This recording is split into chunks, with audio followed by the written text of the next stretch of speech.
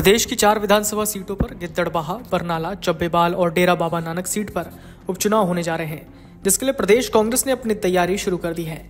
लोकसभा में कांग्रेस ने सात सीटें जीतकर अच्छा प्रदर्शन किया था, लेकिन उसके बाद जालंधर वेस्ट सीट पर उपचुनाव में पार्टी को हार का सामना करना पड़ा था। पार्टी इस बार जल्दी अपने उम्मीदवारों को मैदान में उतारने का प्रयास कर रही है, ताकि चारों सीटों पर पार्टी का प्रचार ज़ोर पकड़ सके। पार्टी प्रधान वडिंग शुक्रवार को पार्टी में नए नेताओं को भी शामिल करवाने जा रहे हैं। वहीं प्रधानमंत्री नरेंद्र मोदी का आगमन पंजाब के लिए, भाजपा के लिए एक अच्छी खबर लाया है। भाजपा पंजाब प्रधान सुनील जाखड़ एक बार फिर सक्रिय दिखाई दिए। वो प्रधानमंत्री मोदी को एयरपोर्ट पर लेने के लिए पहुँचे। इस दौरान उन्होंने पीएम से बातचीत भी की और साथ ही ललित होटल में आयोजित कार्यक्रम में भी हिस्सा लिया।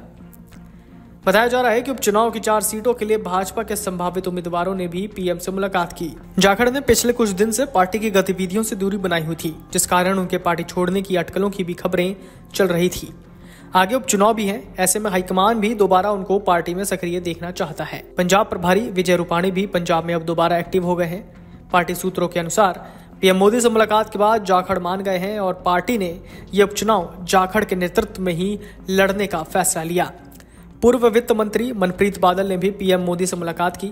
चर्चा है कि मनप्रीत को पार्टी गिद्दड़बाहा से चुनाव लड़वा सकती है। हालाँकि पार्टी की तरफ़ से फाइनल फैसला एक दो दिन में लिया जाएगा।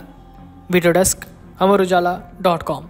अगर आप ये वीडियो YouTube पर देख रहे हैं तो हमारे चैनल को सब्सक्राइब करें और बेल आइकन को दबाना ना भूलें। अगर आप Facebook पर यह वीडियो देख रहे हैं तो हमारे पेज को लाइक करें।